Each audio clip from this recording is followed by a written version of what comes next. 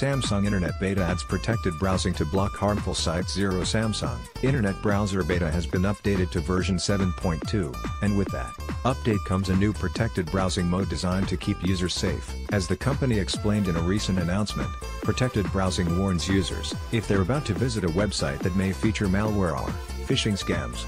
The feature is similar to the protection features baked into Google Chrome. Read 3 reasons to use Samsung's browser Samsung Internet is the South Korean company's mobile internet browser app for devices running at least Android 5.0. The browser plays well with some content blockers, offers easy mobile checkouts while shopping, has support for progressive web apps and 360-degree video, and more. The beta app, of course, offers access to features that everyone else will have to wait a bit longer to get.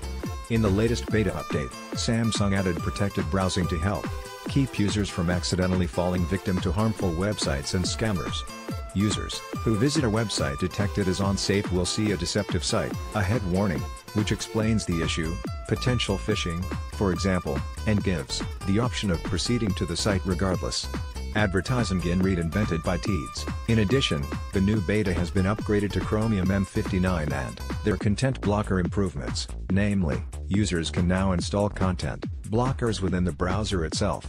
However, that ability is only available to Samsung tablets and smartphones because it depends on the Samsung Galaxy Apps Store for its quick install feature.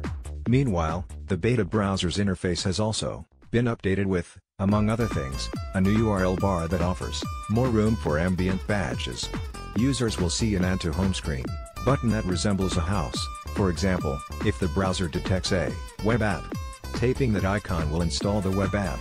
There is also an Add to Home screen icon, and news articles received a new reader mode badge. Tap that badge and the article will be reformatted for readability.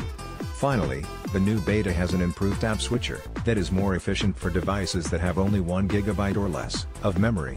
The Samsung Internet Browser Beta app can be found on the Google Play Store here. Source, Medium.